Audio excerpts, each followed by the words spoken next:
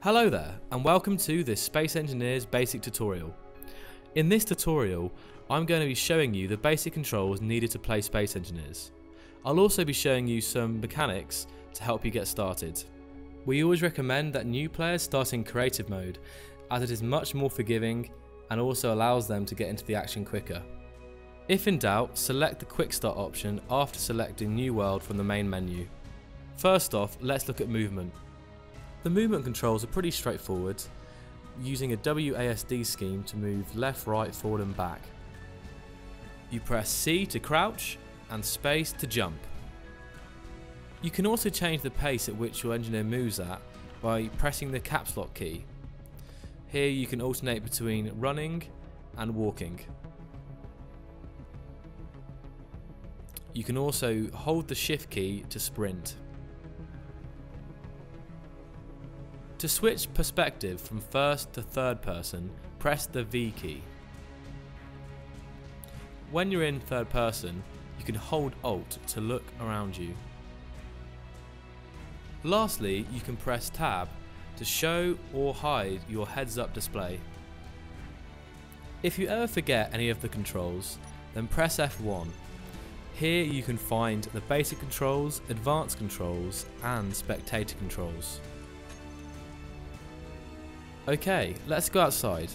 When we approach this door, we can look at the control panel and press T when we see the yellow highlight appear. Now we're going to look at jetpack controls. To turn on your jetpack, press X. Then you use space to ascend and C to descend. You use WASD to strafe left and right and move forward and back. You also have roll, using Q and E to roll left and right. Lastly, jetpacks have inertial dampeners.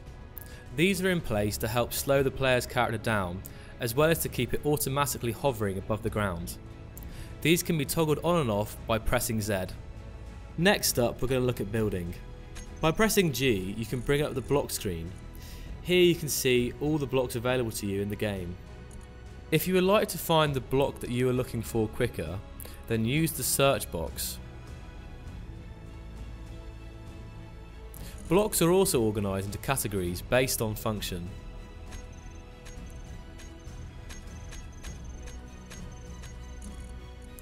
So now I'm going to show you how to equip a block to your toolbar.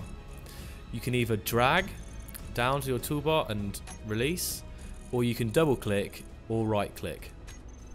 To place a block, left click. To remove a block, right click. If you would like to create a line of blocks, left click while holding control and drag in the direction that you would like the line. Then release both buttons to place the line. To create a plane, left click while holding both control and shift, drag out and then release the buttons. To exit block placement mode, press 0. This will empty your hands. Let's build a new ship. There are two ways to do this. You can either create a ship from your toolbar or from the block screen. This time I'm going to use the toolbar. By pressing 1 I can create a new small ship. This places a landing gear which automatically locks to the station. First off, I place a cockpit onto this landing gear. And now I'm going to place some normal blocks so I have something to build on. Now I need to place a gyroscope. And you can rotate blocks using the keys given in the top right hand corner. Next up, power. This could be in the form of batteries or reactors, but this time I'm going to use reactors. And I'll place four of them. Ships and space engineers need thrusters in all directions. So first we're going to place some forward thrusters. And then some backwards thrusters.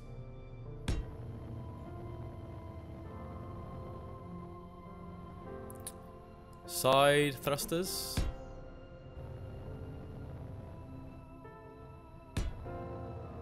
Up thrusters.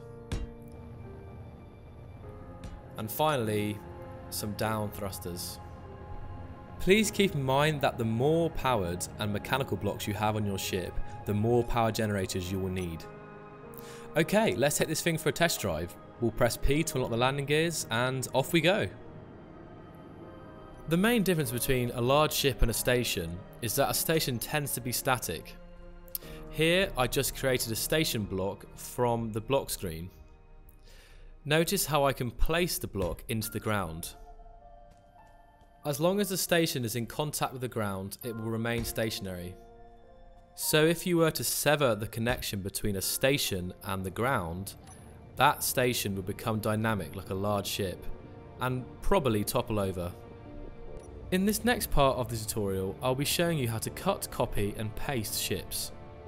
Here we find a fighter that is crashed and is currently lying upside down. If I pointed it and press Ctrl X, I can cut it or delete it from the scene. Now we come over to this landing pad over here and we paste the ship back in. We do this using Ctrl V. And then we can rotate it using the keys given to us in the top right hand corner. You can press B to perfectly align the ship to the horizontal. Once you are happy with the orientation, you can move the ship down and press left click. Now I'm going to show you how to copy ships using Control C to copy it and then Control V to paste it. And here I've just duplicated it twice. Now, let's look at ship controls. When I go over to this fighter and I see the cockpit light up yellow, I can press T to enter the cockpit. Now, let's look at the landing gears. Currently they're green, which indicates they're locked to the platform. By pressing P, I can unlock them. Then we see a yellow light. This indicates that they're ready to lock. Black indicates that they're not ready to lock or out of range from something to lock to.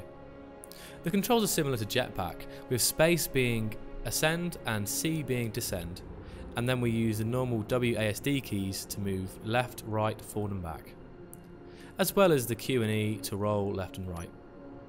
Ships also have inertial dampeners. They are very important as they always try to keep a ship in a stationary hover. If you have them turned off, you will have to manually press space to stop yourself from falling. Okay then, so I think that's all the flight controls done. Let's go get some pirates. And first off I'm going to show you how to equip weapons and tools onto your ship toolbar. So if we press G, we bring up the G menu and then we can go to weapons and tools and either drag down, double click or right click on the weapon or tool of your choice.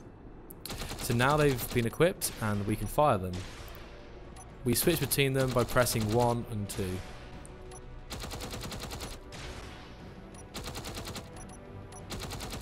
You can also look around your ship's cockpit by holding Alt and moving your mouse. This is the same for third person. And you can also zoom in and out of your third person perspective by using the scroll wheel. As you can see, we're getting shot at by that pirate station. So we're going to come around this mountain and try and attack it from another angle. Also, you can press V twice to reset your camera position. Unfortunately, I think this pirate station is a little too strong for us this time, as it is slowly taking off our thrusters. Now we're coming in for an inevitable crash. And unfortunately, there we have it. Our ship has been pretty much destroyed. So if we would like to return to where we started, or if you ever get lost in the game world and want to respawn, then press backspace, and then yes. After a short countdown, you'll be presented with a spawn menu. Here you can choose between spawning at a random location or at an existing medical room. And here we find ourselves back in the original room where we started. And that brings this basic tutorial to a close. If you would like to learn more about any aspect of the game, then please proceed to play the in-game tutorials. These can be located in the main menu by selecting the New World option. Thank you for watching, we hope that you found this video useful, and we will see you next time.